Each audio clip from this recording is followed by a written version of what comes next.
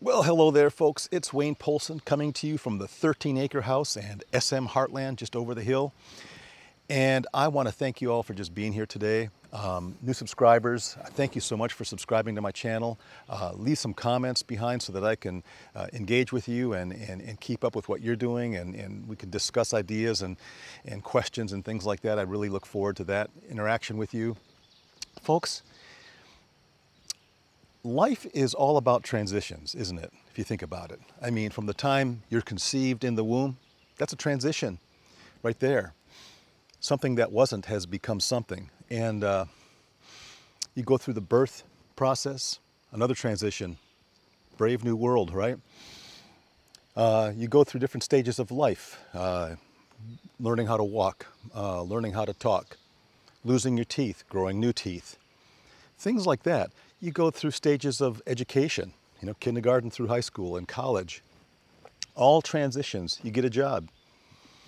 You buy a new vehicle, you buy a home, transitions.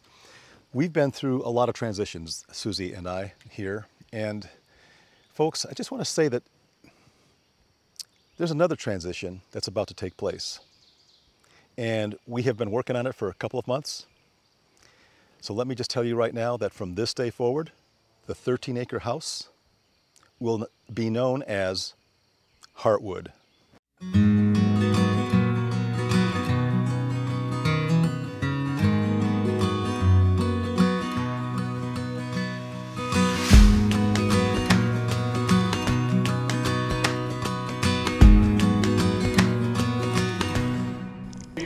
If you will observe the knot, this side of the knot has two parallel lines such a That's it. I don't need anything else. All right, so what you see behind me over my left shoulder here is about 30 days ago, my friend John and I took down this huge ailanthus tree in our backyard and I left it lay there for one good reason and that was to see what kind of after effects there would be from this mechanical removal of this tree. Now, as you know, um, I, have I've, I've shared videos in the past. If you go back to about June, July of last year, you'll see a couple of videos on how to deal with the invasive species, the ailanthus tree. And I show a method of, of, uh, of dealing with it there. It's sort of a combination of mechanical and chemical. Um, in this particular case, I didn't use uh, the same methods that I used in those nice videos. Job. I just used strictly mechanical, chop the whole thing down, actually cut it down with a power saw. And, um, and I'll, I'll, put references to the video here as I speak so you guys can catch up with those videos. But um, I left the tree lie here because I wanted to see if there was any truth uh, to what will happen if you mechanically terrorize an ailanthus tree. And by terrorize, I mean they get scared and they send out this messages, they send out these messages through the root system saying, survive, survive, start sending up suckers, start sending up new sprouts, let's, uh, let's keep this show going. And that's exactly what happened here. I let the, uh, this back area here of foliage, I just let it grow for the last 30 days. I haven't touched it with a mower. Uh, and as a result, it's being taken over by new ailanthus suckers or sprouts. So um, by comparison, I want to show you some footage from the other tree that I did last year. It's still standing on the stump. Uh, it's been a year now, and I want to show you what's going on with that tree. So friends, here's the ailanthus tree that a year ago um, I girdled and chemically treated with triclopyr. Um, and I think I showed in those videos that within two weeks this tree was dead. Um, at least 99.9% of the way dead. So as you can see, it's still standing here a year later. but as I look around here, in this general vicinity here, I see no evidence of new sprouts at all.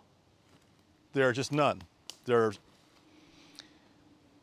multiflora rose, we have some ferns, uh, we have some yellow poplar stuff coming up over here. Um, but nothing like we saw over behind the house on Heartwood. So um, folks, I think I'm convinced that the best way to take these trees down is by girdling and or triclopyr application. So I hope that was helpful for you guys. so as you can see, there's a big difference in the way uh, that these trees reacted to the process of being uh, destroyed. And um, so I think from now on, I've proven to myself here that the best way to get rid of these trees is chemical treatment, that is with the triclopyr uh, solution, uh, which is basically crossbow, the product crossbow, or you can buy triclopyr in just bulk form and uh, mix it with, you know, like a diesel fuel or something like that. The diesel fuel will help the triclopyr to uh, adhere to the, to the, uh, uh, the base of the tree. And um, as I mentioned in the other videos, I, I won't go through it all again. There is a method to doing that, that that's very effective and it works well. So here's the plan. What I'm going to do over here, uh, before I cut up this tree uh, com completely, I'm going to go through and mow all of this down. Now, you may say, why are you going to mow it if you know that it's going to cause a reaction? Well, it's because I plan to keep mowing it. That's, the, that's one of the ways that you can combat this uh, invasive species is just by continual mechanical uh, destruction, you know, uh, mowing. Just keep, keep it mowed. If you keep it mowed, they'll eventually die out. So, um, so that's, that's the plan here. I'll, I'll take the tractor and my brush hog um, and we'll, we'll take care of it that way. And then I'll go ahead and buck this tree up or I, yeah, I may do it backwards. I may buck the tree up first. I don't know, but the stuff's kind of tall, so it's kind of in my way. Um, I'll make that decision as I go. All right, folks. Um, I don't know if I have anything else to give you in this video, but I just wanted to thank you for joining me here. Leave some comments down below. Welcome to this place that we are now calling Heartwood, and let me give you a little bit of reasoning why I chose Heartwood. This was not uh, specifically uh, a suggestion made by, by you. This was kind of a meld of different ideas that came from my viewers. And uh, so, you know, Tammy Duda, thank you for suggesting Heartstone. Heartstone is a great name too. I, I, I like the idea, and she gave a great definition of why to choose that name, and, and, it, and it has to do with a lot of the reasons why we ended up with Heartwood.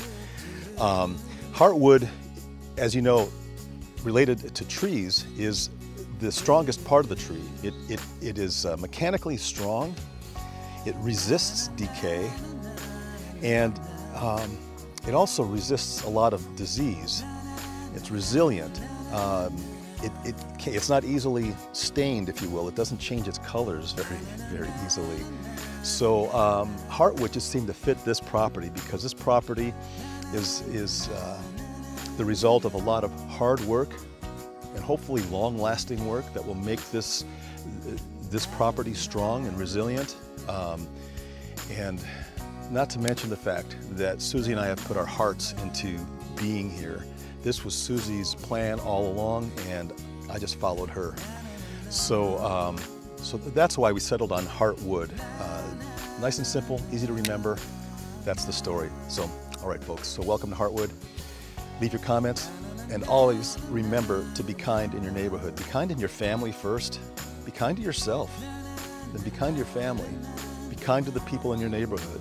Spread that kindness to people outside your neighborhood whenever you get a chance to. Um, and, and, and, and you know what it's like. When someone's kind to you, you know how you feel on the inside.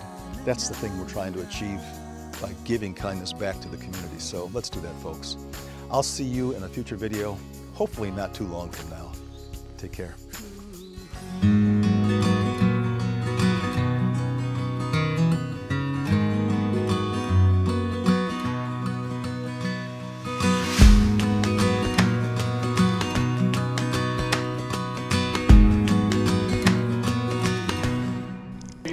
If you will observe the knot, this side of the knot has two parallel lines.